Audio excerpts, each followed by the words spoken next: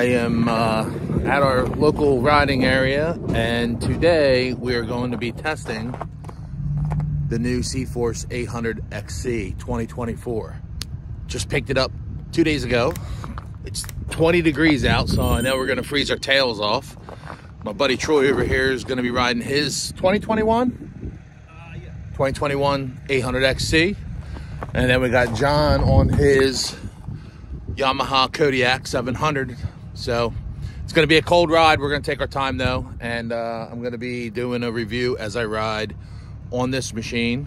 Um, but as you can see, it is literally brand new. Yeah. So stay tuned. All right. So one thing I do want to test is the speedometer. A lot of people say the speedometer is inaccurate.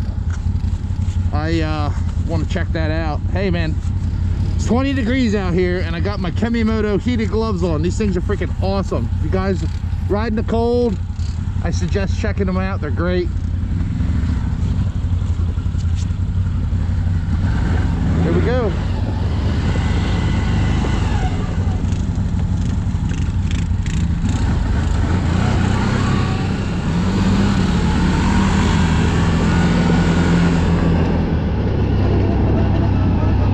so right off the bat I can definitely say that the suspension is way different than my 600 with the Elka shocks it's a little bumpy. My 600 really soaks up the, uh, the bumps with the Elka shocks but it's manageable.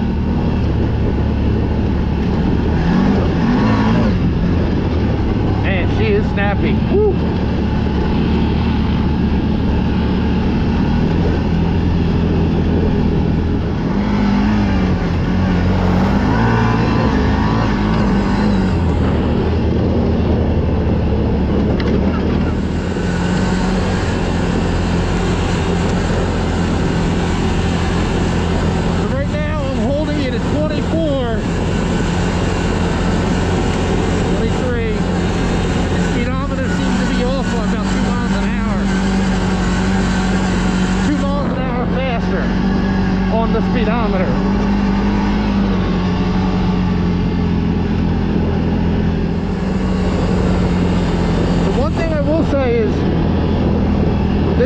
got some get up and go from the 600 it is uh, pretty instant the throttle is very a little bit touchy um, but manageable definitely climbs well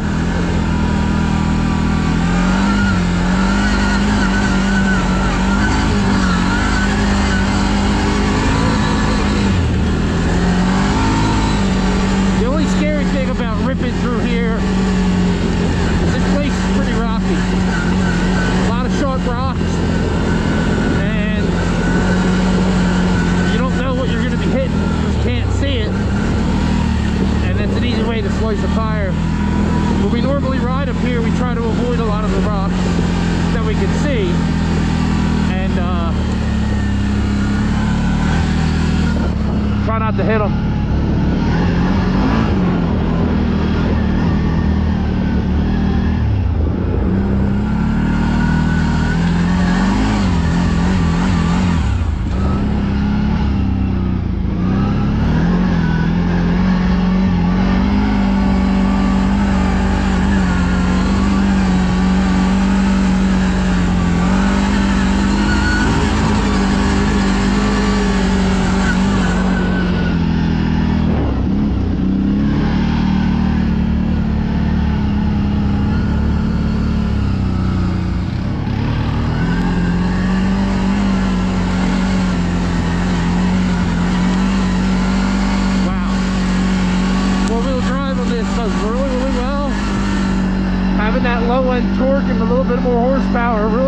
Does a great job pulling you up the hill. I mean, there's probably about five inches of snow here, but a lot of powder. Um, doesn't look like anything, it's, you know, real heavy, not pushing. John just climbed in two-wheel drive with the Grizzly.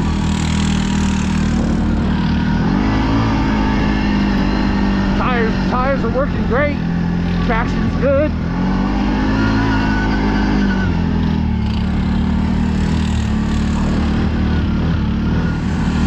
You know, we're gonna try to avoid coming through a lot of puddles because it's freezing today. And I don't know if you, any, you know, anybody that's ever ridden in the snow and in the cold, you go through water, then eventually your, your calipers will freeze up. We have a long ride ahead of us. We're gonna be riding down into town, grab some lunch, beer, and uh, we're going to be hitting some hills on the way down so I want to make sure that you know we have brakes so just keep that in mind when you're riding in the winter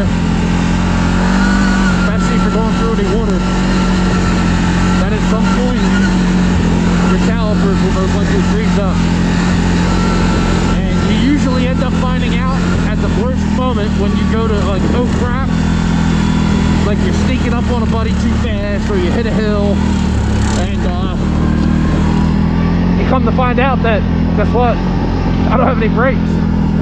So that's not a good position to be in. Now I will say my 600 touring from the factory has had a rattle. Um, it is a uh, I thought it was the valve. Very annoying. Sounds like something like almost tinny. Um, I didn't like it. I couldn't find out where it was. And uh, when we replaced the motor on my 600 after it got sunk, we found out that the um, we found out that the uh, coming off the head on the exhaust there is a I'm getting bounced around here pretty fierce. Coming off the exhaust on the you know from the head underneath the gas tank is a exhaust cover. Well we found out that that thing rattled loose so bad that it was like not even tight. So that was rattling. We ended up replacing the motor tightened that thing up and found out that it came loose again. So I got a brand new motor in a CForce 600 that unfortunately uh, now we got to dip down in there and try to figure out a different clamp um, because I can't deal with it. I mean it's not bad but it can drive it can give you a headache so. But this is super super quiet. This thing you know oh no engine braking. Interesting. Did you guys catch that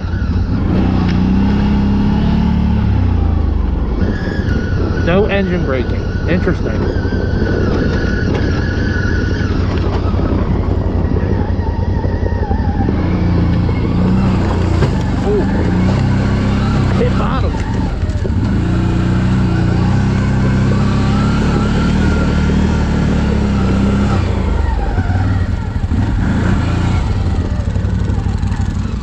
Now the other thing real complaint, my only real complaint about this ATV, I don't know why CF Moto did this, but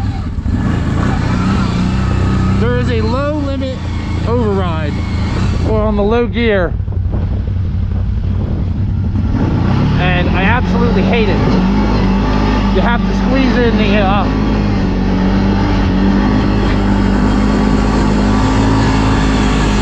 there's an override button on the front of the left handlebar. I'm actually holding it.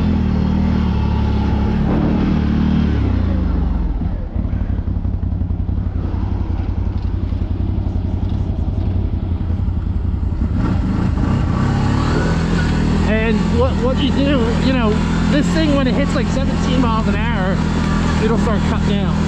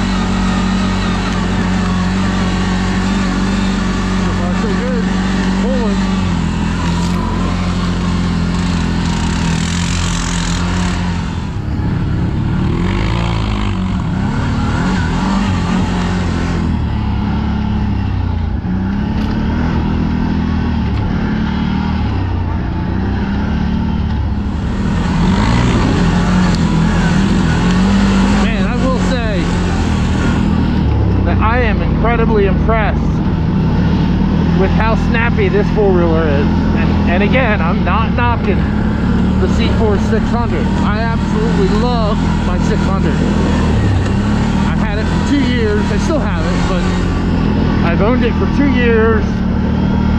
And this thing is just wow. And originally I was to buy this machine. However, I didn't because I was afraid it wouldn't fit on my trailer that I had at the time.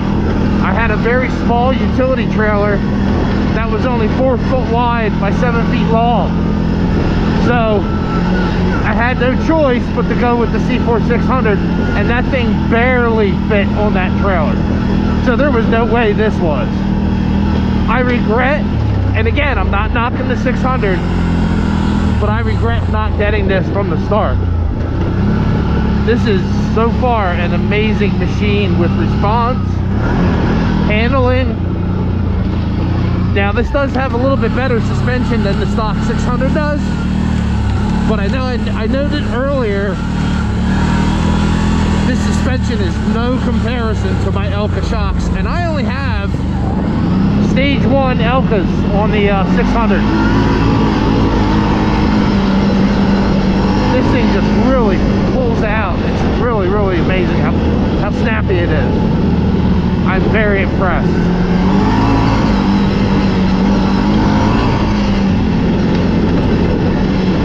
But the ride is definitely rough. Now I was sitting on a 1000 Overland and the Overland just from sitting on it felt softer than this. I don't know why because I think they're the same chassis and I think they have the same shocks. So I'm uncertain why this feels different.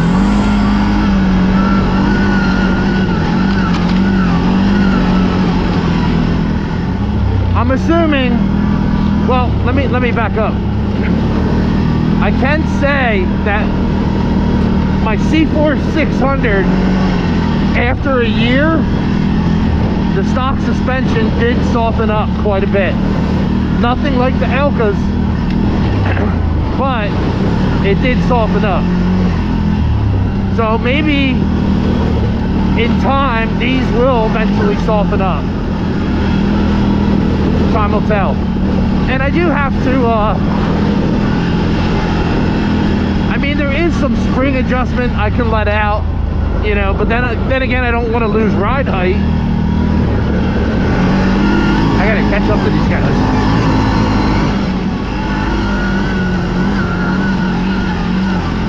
Wow, gee, this thing's got a lot of, a lot of power, man. I'm telling you, I was afraid it wouldn't be enough. Now I know it is.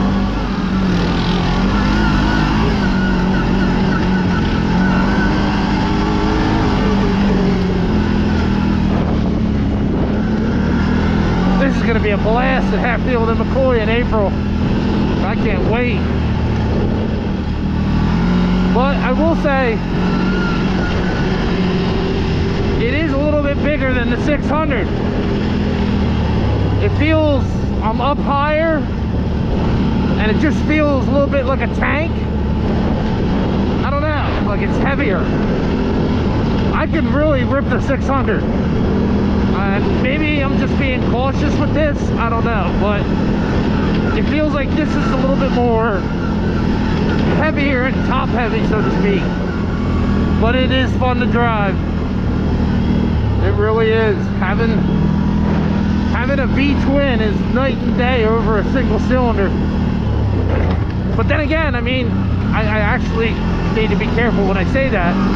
That my buddy Tom, he's running a uh, 660 Yamaha Grizzly. And that's a single cylinder big bore.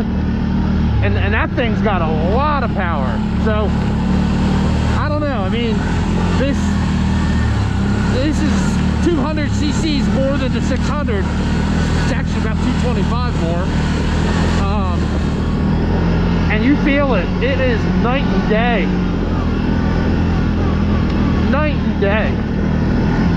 In delivery and uh, throttle response, everything.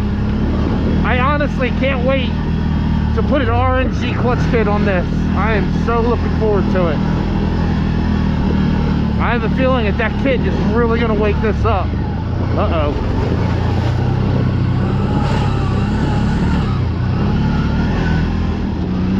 This is a new trail that they opened. We're heading down into Minersville right now. And the old trail took forever. But I think this is just a minor shortcut. I don't think it's a full anything big.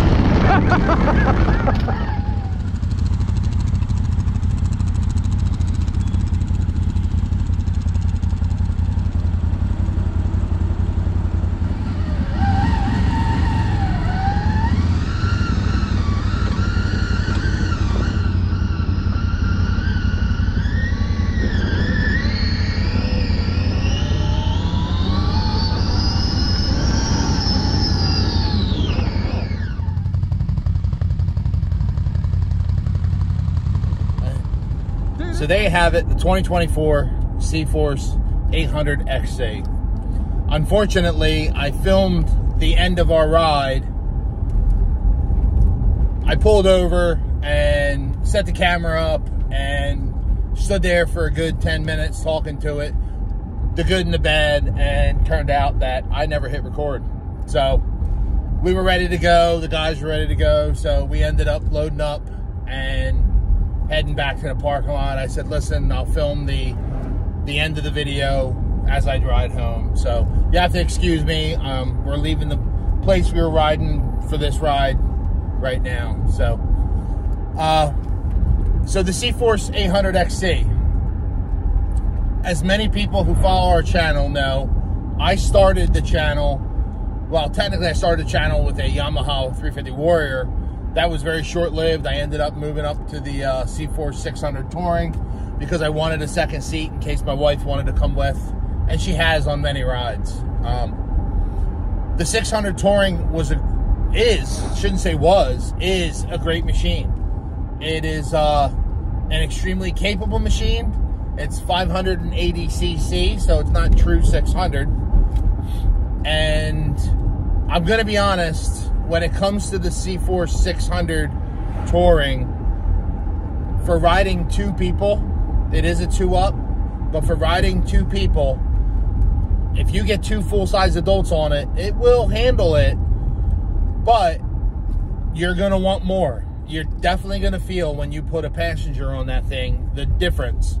Now, the 600 Touring and the 600 C-Forces are extremely capable machines. I have put 1,300 miles on my 2022 600 and never had any issues. Now, the machine got sunk. I did have to replace the motor, but that was self-inflicted. That was my fault. Wasn't the machine's fault. My C-Force has never been in the shop for any repairs, has never been in the deal at the dealer for anything. It has never let me down. But again, if it's self-inflicted, that's my fault. Not the machines, not the brand. So going from the C-Force 600 Touring to the C-Force 800 XC, which is technically a Touring as well, is night and day.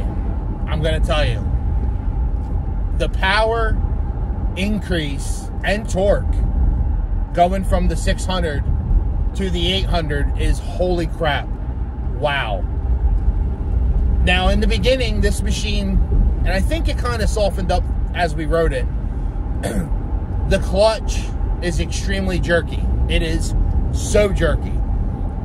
Reverse, forward, or high, low.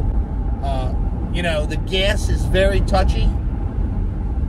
And I found that as the ride progressed, either I got used to it or it kind of started to break in. Now, I'm not going to say it broke in in 40 miles because we put about, what, 40 miles today on our rides. And uh, if it did, great. I mean, that's awesome. But I doubt that that happened. But I'm thinking I got used to it. The suspension on the 800 XC is, and I think it's because it's new. I think it's going to break in. Is somewhat stiff.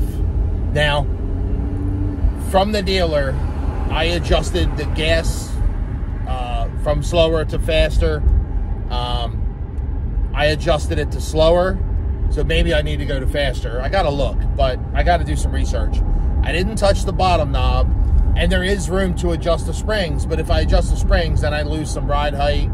So I definitely got to mess with the shocks, but I definitely want to try to soften that ride up. The ride, you know, I'm I am used to having Hester Elka shocks on my 600 touring.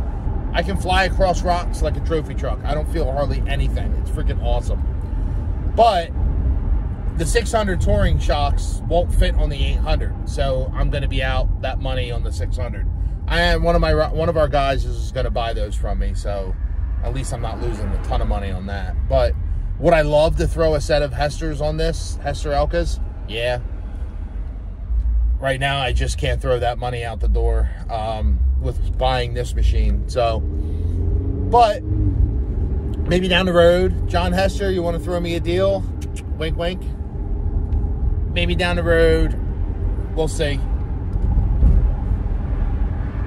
a com- another complaint. The shocks aren't necessarily a complaint. It's just I noticed, right? I noticed that the ride was stiffer, and uh, it is what it is. So, the other thing that I noticed going from the 600 Touring to the 800 XC is the 600 Touring seems to have a more comfortable seat. I know that may sound weird, but the 600 Touring, the seat seems longer than the 800 for the driver. And it also seems like it's a little bit thinner in width. The 800 XC feels like it's wider. And I, I, I have to measure them and confirm. I still have my 600, which I could do that. But the 600 definitely feels a little more comfortable and a little more nimble than the 800. The 800 sits up a lot taller than, than the 600 does. I noticed when I was riding my 600 and my buddy Troy, who rides with us, he got the 800. When he would roll up next to us, he would be looking down at us a little bit. He'd be sitting up a little bit taller.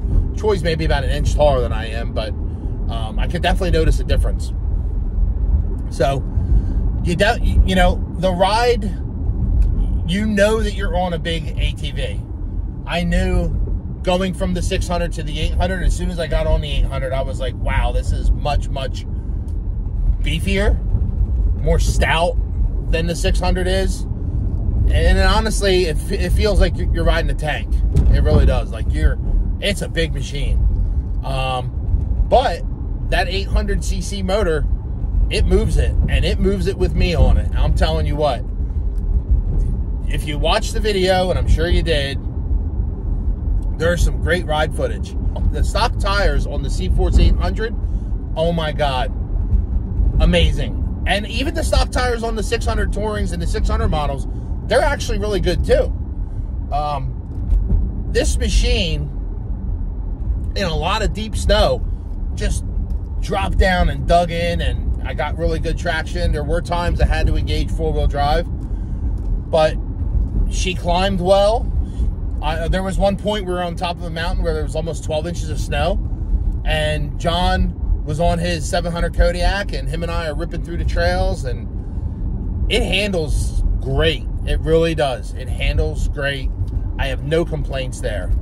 Um, my only other complaint with the 800 compared to the 600 Touring, and I've never had this issue on my 600 Touring, is I hit some mud puddles today, moving pretty good at a good clip, maybe about 20 miles an hour. And on my 600 touring, my the inside of my floorboards, where my legs are, hardly gets wet. Hardly gets wet. And I don't know if it's because there's plastic there that help block any splashes that come splash that comes up. The 800 doesn't do it. And again, it's not a negative thing on the machine. It doesn't downgrade the machine in my mind in any way. I just think CFMoto could have done a better, a little bit better job kind of closing that all off.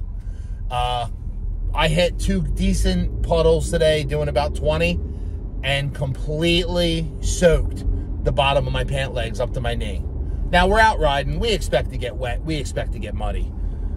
But when you're going from the same brand and moving up a notch, you're kind of expecting everything you got in the lower notch and even more in the upper notch. And I did. I gained the motor, I gained the power, I gained the the torque, you know, and I would have expected to have the same type of enclosure as the 600 does. Now the 800 and the 1000 are a completely different chassis than the 600. So maybe that's why that is. I don't know but it's not a deal breaker for me because we're out here to get money. I'm not trying to sound like, oh, I got wet, I got muddy. That's not what I'm why I'm doing this. I'm doing this to be honest for everybody that if you would ride a 600 and an 800 and go through the same slop, you're definitely going to see that one rider is a little bit cleaner than the other rider. Something to think about there. So, we rode 40 miles today. And I'm going to be honest with you, I had a grin on my face almost the entire time. I kid you not. This should have been the machine that I bought out of the gate when I bought my 600. But unfortunately, and again, if anybody went back and watched, you know, any of the reviews I did on the 600, I didn't get the 800. I originally went up to the dealer to buy the 800. But I only at the time, uh, at the time, I only had a small utility trailer, which was like four feet by seven. It's like a tractor supply trailer, like a Lowe's trailer you would pick up. And it was four feet wide, exactly four feet wide inside, and seven feet long. And I was worried the 800 wouldn't fit on it. So I ended up sitting on the 600, looking at the specs with the dealer, and I said, you know what? This is it. This will fit. And we ended up going with the 600. I don't regret it, but I really wish I would have stopped at that time. If I would have known the differences between the two machines, I would have stopped at that time and I would have sold the trailer, got a bigger one, and went with the 800. I was going to go with the 1000 I was going to jump from the 600 to the 1,000. Everybody on the team wanted me to get the 1,000. I wanted to get the 1,000. My wife wanted me to get the 1,000 because she didn't want me to have to upgrade again. Haha. -ha. But I'm not. The reason why I didn't get the 1,000 and I didn't want to wait for the new models to come out because third gens, because I don't want to be, I don't want to buy, even though it's a third gen, a first product line let them work bugs out. Let them work the kinks out. I don't want to have to be that guy because I don't want my machine in the shop. Not saying it's going to be, but we all know how that goes sometimes. There's going to be bugs. There's going to be kinks. The 1000 Overland, in my mind, and again, please, guys, whoever own them, I'm not knocking them. They are extremely powerful machines. But you have to literally strip a lot of the stuff off that comes with it for it to look like the average utility four wheeler. I hate the boxes. I think the boxes are god awful ugly. I do not like the bumpers. I think it looks like a safari machine. I really do. And it's not for me. I, I don't want a safari looking machine. It looks like you're ready to go run down brush and rip chainsaws out of those boxes. And I don't need that. So the 800XC was the, ch the choice for me, and I believe I made the right choice. Eventually, eh, maybe the 1000, but it would be the new touring models once they work any bugs out after they come out. I'm not going to be that guinea pig. So there you have it, everybody. My first ride of the 2024 CF Moto CForce 800XC. I'm going to tell you, it was a pleasure. I love this machine so far. And I'm hoping that it treats me just as good as my 600 Touring did. We appreciate everyone's support, everybody who follows us on Facebook, everybody who subscribes to our, our stuff here on YouTube. Thank you very much. Please give us a like, drop us a comment down below. Are you looking into getting a CForce or a, CFMoto product? Do you have questions? Drop them in the comments below do your research. That's my biggest my biggest thing. Do your research. Don't let other people beat you up. Don't let other people beat you up on the brand. I get it all the time. And I got news for you. There are seven CFMotos that ride on our group or with our group. And not one of them has ever had an issue with their machine that wasn't self-inflicted. Me, truly. I have 1,300 miles on my 600. I think a few of our guys are coming close to a thousand miles, maybe pushed it. They have never had a single issue. The, the, machines have never been in the shop. They have never been to the dealer, except for normal wear and tear maintenance. so let that tell you. I also want to give a shout out to Fanatical Side Rider, who is up in Canada. Roland, how are you? There, he has a video on his channel where he interviews a friend of his and I don't know which CForce ATV it is. I want to say it could be the 800. It could be the 600. That has 7,500 miles on it. And aside from maybe replacing a belt, I think he said, and brake pads, he has not had a single issue with that machine. I have had people tell me in comments, oh, that thing's going to die in a 1,000 miles. You're not going to get a 1,000 miles out of that machine. And there's a guy who took care of his ride, maintained it, right? Which you should do with your cars, everything maintained it. And he right now still has he has 7,500 miles on his machine, and he still drives it. It runs like the day he probably bought it. So Thanks for watching, everybody. Like I said, please give us a like, give us a subscribe, drop us a comment. Have a great day.